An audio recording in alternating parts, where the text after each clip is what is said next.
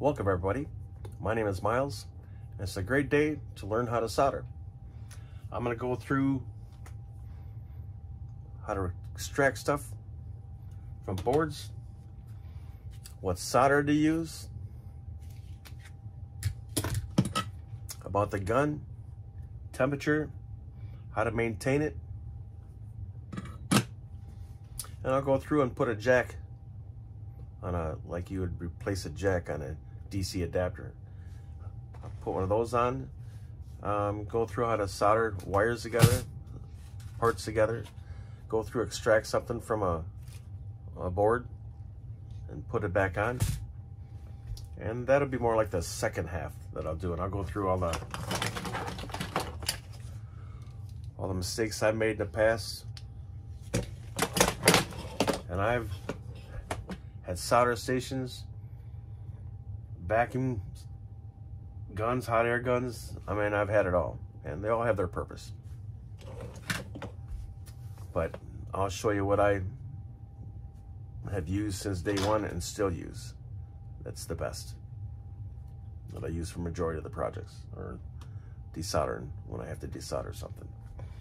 But first, I'm gonna go through my background.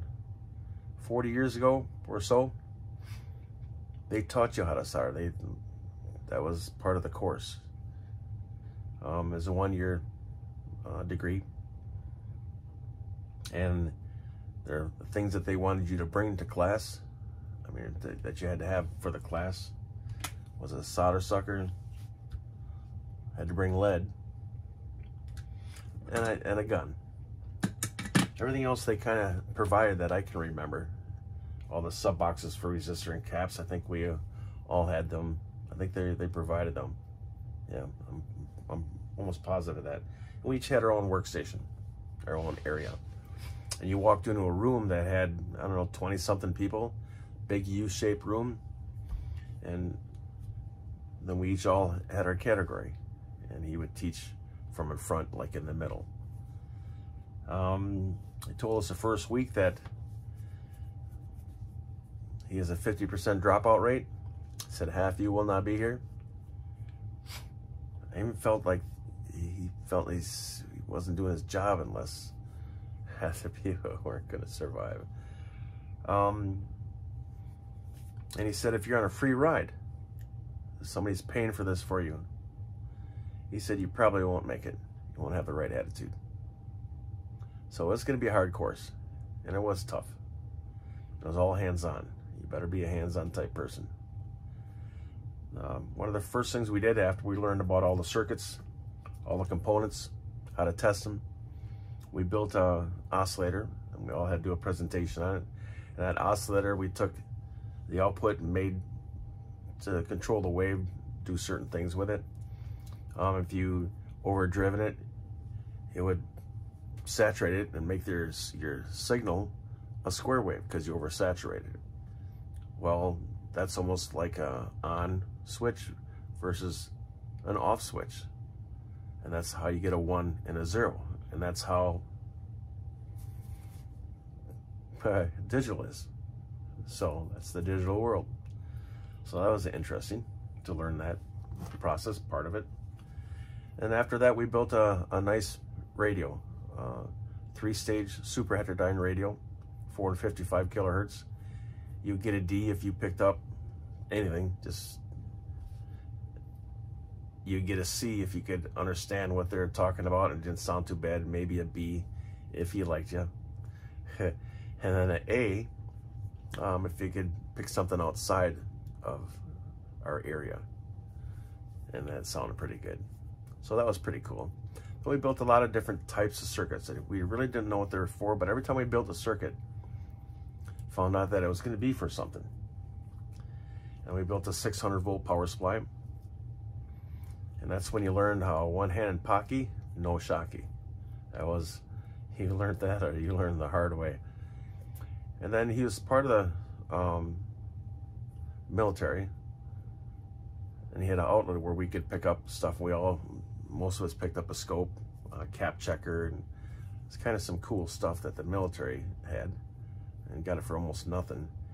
And then he brought in some one inch TV tubes that were, I don't know, 10, 11 inches in length. And we built a TV. I watched either, I thought it was the first shuttle that went up in the early 80s. You could just see a dot. That was kind of cool. You wouldn't even know it was a shuttle unless you said, hey, that's, the shuttle's going up right now. Um, then after that, towards the end of the year, we did a lot of repairs on everybody's equipment. People would bring us their TVs were the most thing that we got and receivers, amps, all that stuff. We got everything, which was kind of cool.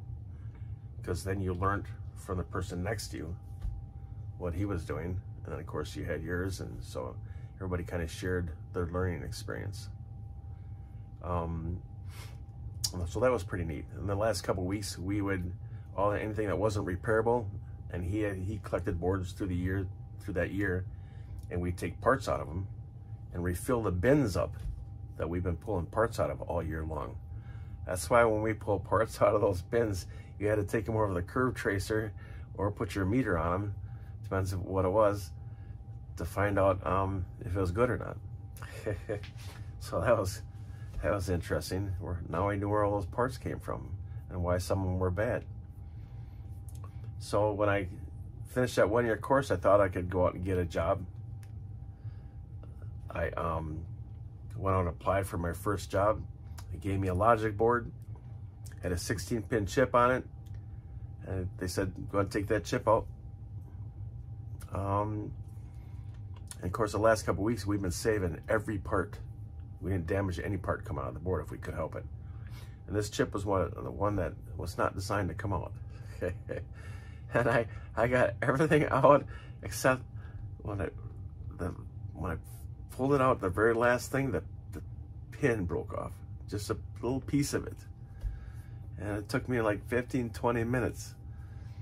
And I, so I almost got it out. But when I went over to him, he said that should only took a few minutes. I'm like, what? I found out that he wanted me to cut the pins, get the chip out of there, and just touch the gun on each of the pin and pull them out, and then clean up your mess. That only took a few minutes. That was a piece of cake. Instead, I'm trying to take the whole thing out as, as if we were going to use it again. I didn't get that job. But it was a good experience. Um, he talked me into going on for another couple years, set me up with a job. Um, so I went another two years electronics, which was pretty cool because that's when I found out applying math to everything. And that's when I found out that the one-year course was convectional, meaning all the arrows went from negative to positive. But when I took the two-year course and applied math to everything in the circuits, they had the arrows positive going to negative, conventional, which was pretty cool. Uh, just coming at it from a different angle. So I learned a lot. Um, so the second half, I'm going to go through and, and do nothing but hands-on. I'm going to share my 40 years of experience. I'm because if you don't, what good is it? So let me get the camera set up. Thanks for watching.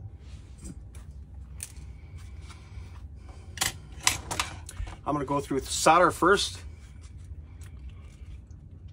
Um, 40 years ago or so around there, the thing we had to bring to class the first day, solder 6040 rosin core, meaning it's hollow in the middle.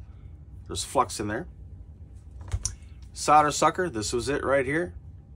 Same looking thing, same size, same everything. Still the number one solder sucker today. I and I've tried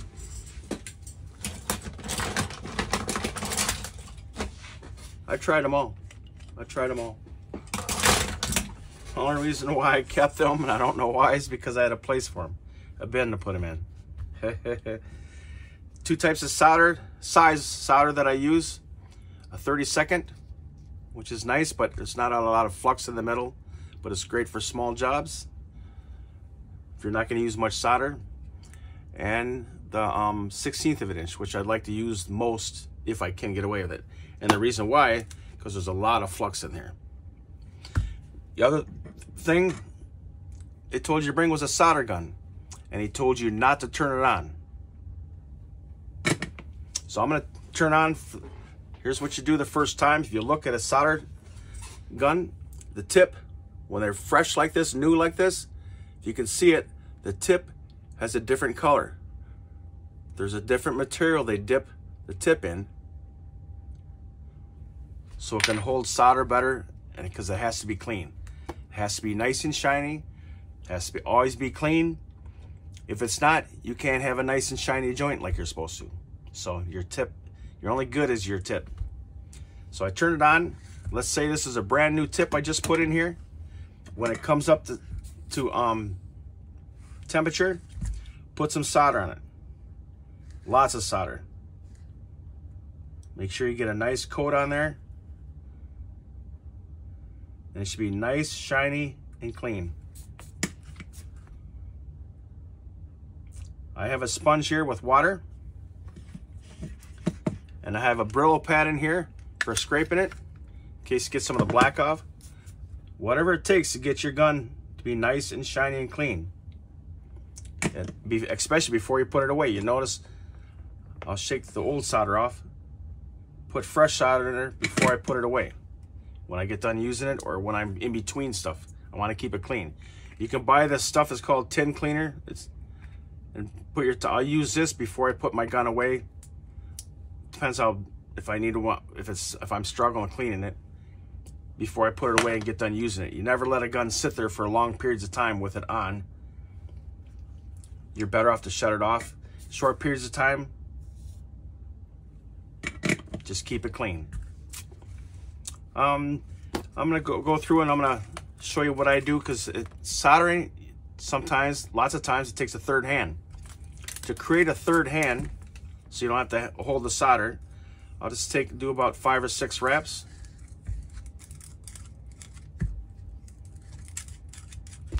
And this is lead. 60% tin, 40% lead. The two combined have a lower melting point, which makes it great for soldering. And what I'll do is I'll just wrap it around, make some loops, and then wrap this around. If you go to the end, you just come back and you bend it, and there's your third hand right there. Now when you solder something, I'm going to solder something up for you. When you solder something, wire, you got to tint one side so it looks nice and shiny, just like your tip is supposed to look. And then when you're going to solder something to it, you have to tint the other side. Gonna make sure I get the glue off of here or from the tape. Probably not the best thing to grab to show you how to do it. And then the other side, if your soldering gun's clean, only takes three or four seconds to make that shiny. You don't want a big blob on, but you want to make sure you have solder on it. And then what you do is just put the two together.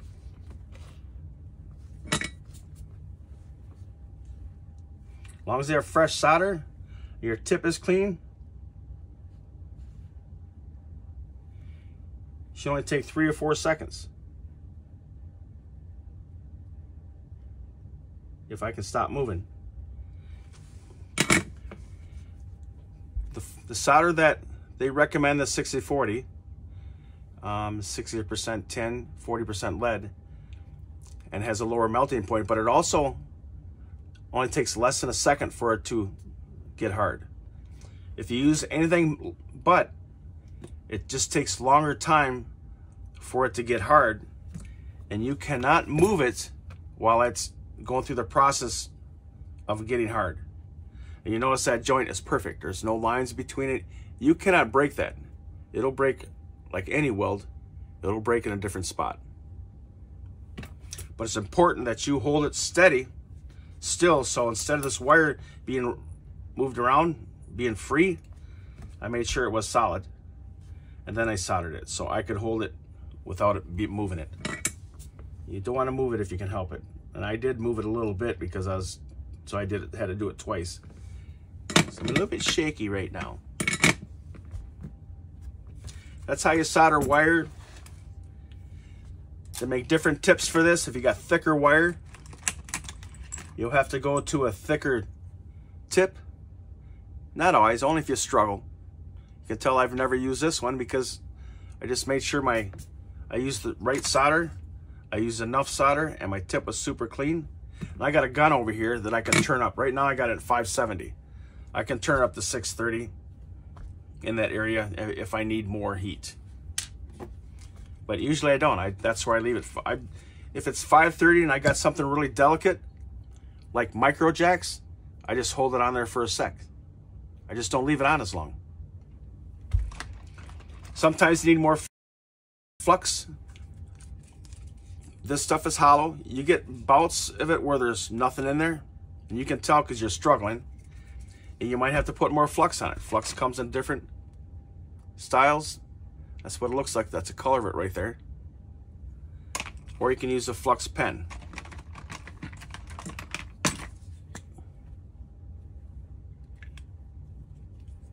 This is not a flux pen. I don't know how that magic marker got in there. That's a magic marker. this is it. I started looking at it and it's blue.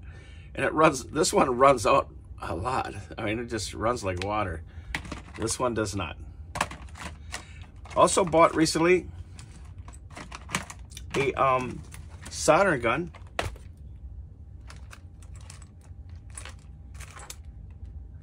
on eBay if I can find the tip for it. It was just here. I think it just fell to the bottom.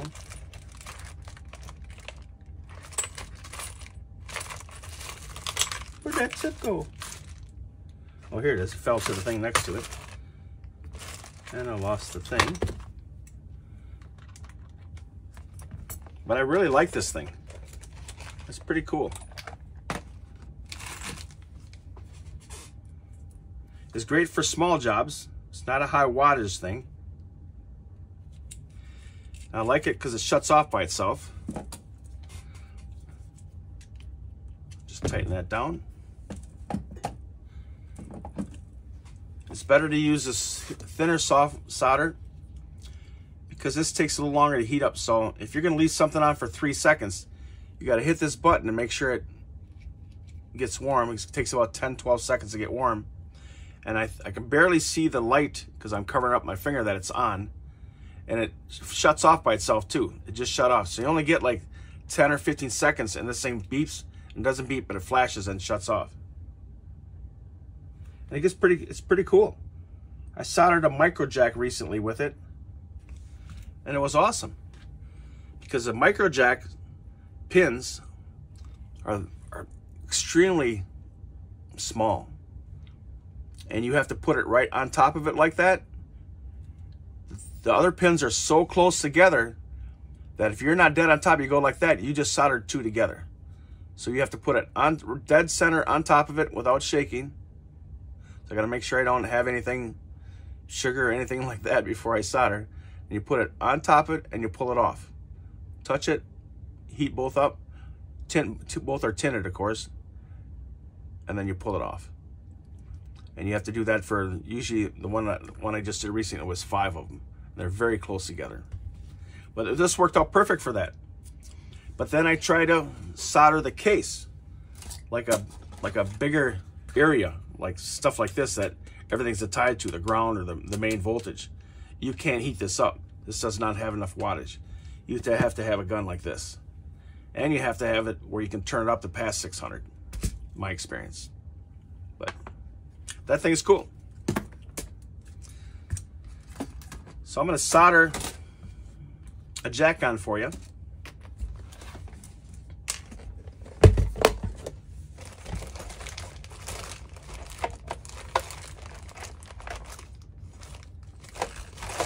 Let me get the right kind of jack to solder on for you.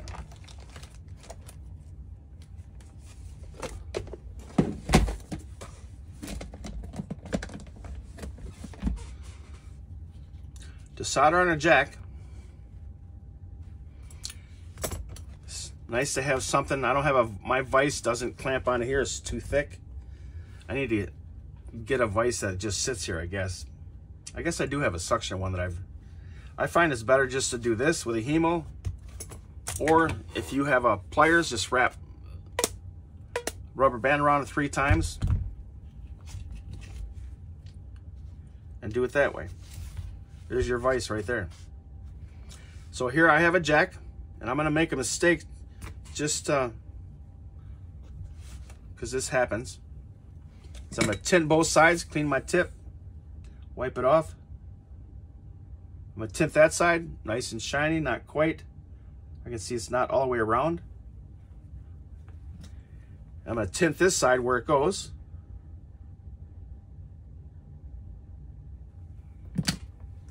Not much on there. I hardly put anything on. As long as you see it flow, take it off right away. And then I can put the two together. I'm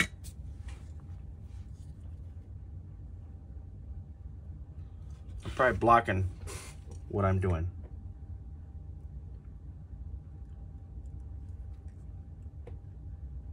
I'm struggling a little bit because my tip needs to be clean.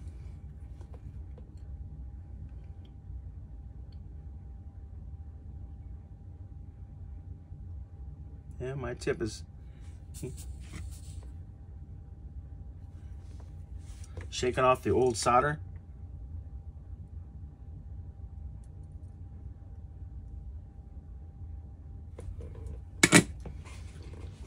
You know you did it right if you got the right temperature. And there it is.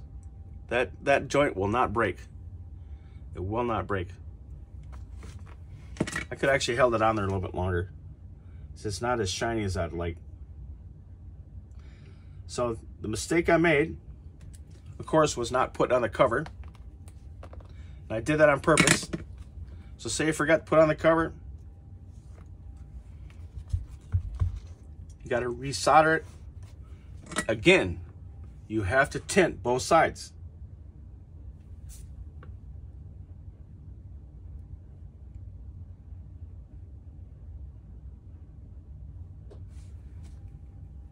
Both sides. It's, and be careful you don't put too much solder on because now it's going to bulk up. And I actually wiped it off. Sometimes you have to, if you get too much on there, just shake it off. And now with a clean tip, putting solder in here, shaking it off, putting it on. If you don't do this, you're not gonna get a clean joint. It's gonna look terrible.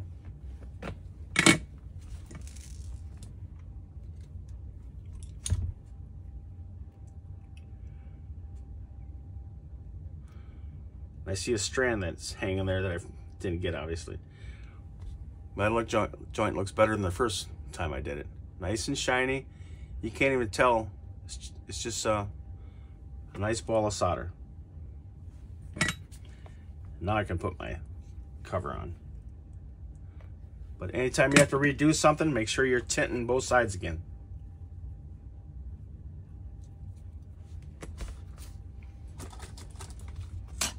For the logic board, removing something or put something on, this is probably not a good board, but maybe a little more difficult board because it has a coat, um, either epoxy or um, polyurethane or some or uh, lacquer. Looks like it's lacquer that they put on here. So it's a little bit thicker. So I might have to keep the gun on a little bit longer. Plus, they have it where the components they put through, they bend it on either side like that. They put it through, bend it, holds it. Otherwise, it just falls out. So it makes it a little bit easier for them. So it makes it a little bit more difficult for me to remove. I'm gonna pick something on here to remove. This is just a resistor. You can't just put your gun on it and put a solder sucker on it and remove it. You can't just do that.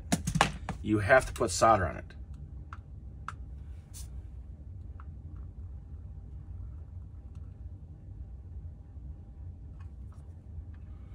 Get rid of the old solder.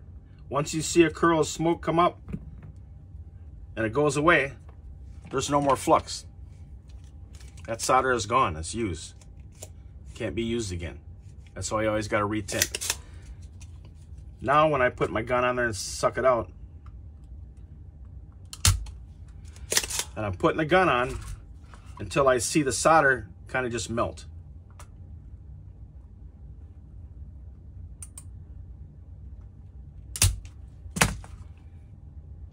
Even though I just desoldered, I can see a hole where it pulled it all out. It's still not loose. It is not loose.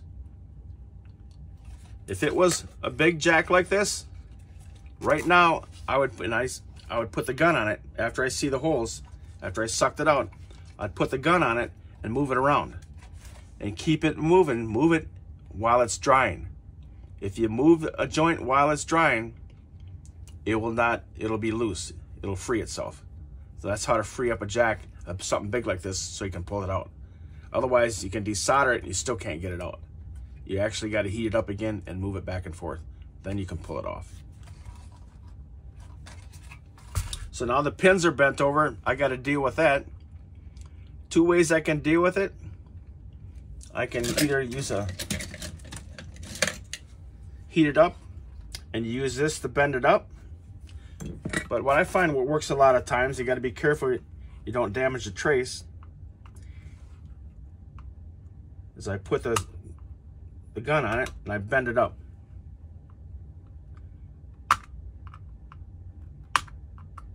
You got to be careful you don't damage the trace. This stuff here, I, I'm not to really damage it because there's a coat on it, coating on it. Then once you get that, you can grab your spudge Make sure I get the right one and peel it up. That's it. If you struggle with one side a little bit,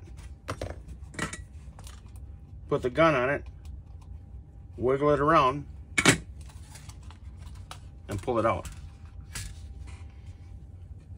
So I'm gonna make sure that I put this back in because this is a good board that I repaired for my furnace.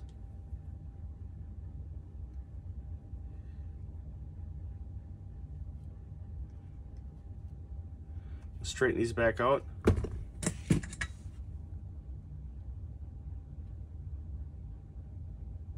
I remove, I'm just wiping, I'm just grabbing it and wiping the excess, uh, the old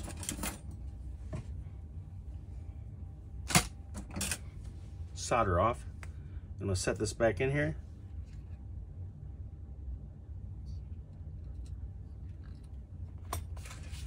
hold it with my finger.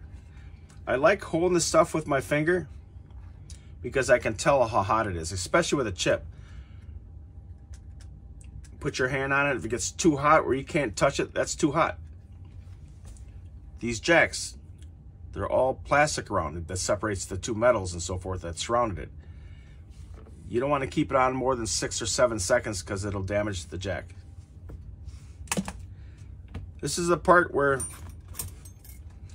if you got caught in my class, in the class that I was taking, you get hollered at.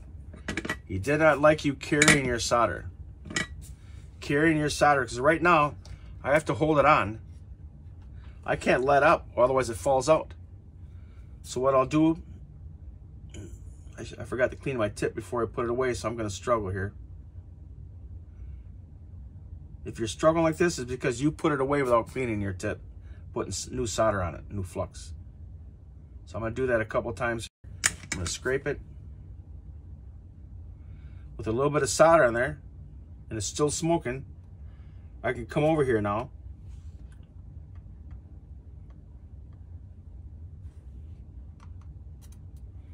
And that'll hold it. Now that won't fall out of the board. I'm not going to worry about bending it over because I'm going to solder, do a good job of soldering. I'm going to solder the other side just in case I push it through, back through that it's nice tight against the board.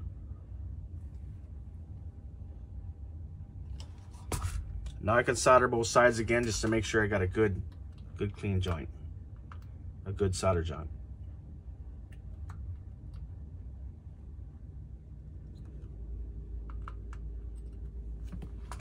And that's it.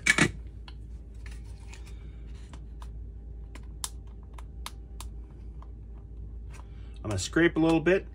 You can clean off the board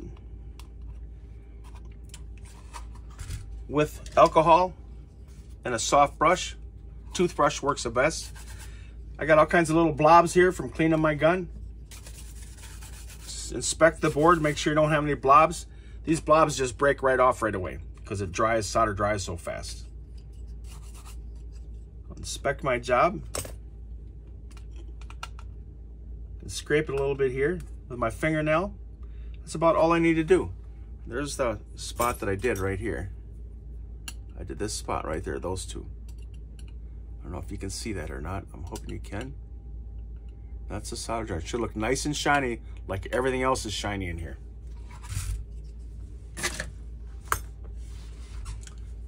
Again, I'm gonna clean my gun. And I'm done using it now. So I'm, what I'm gonna do, and I struggle with it a little bit, so I'm gonna use this tinner that you can buy or just, just keep putting the solder on it. You can do this right here, scrape it off, or you can just put solder on it. Shut my gun off. My gun is off right now. While it's cooling down because you want to put it in there with a big blob on it.